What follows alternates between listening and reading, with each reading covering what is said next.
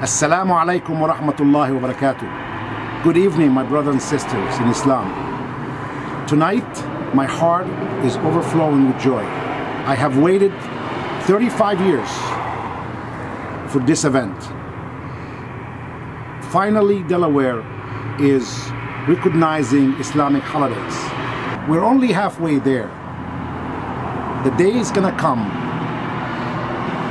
that Delaware will recognize our holiday as a public holiday. So please join us on April 19 at 4 o'clock in the county office to witness this happy occasion where a proclamation will be issued. Thank you and may Allah bless you and inshallah we'll see you there.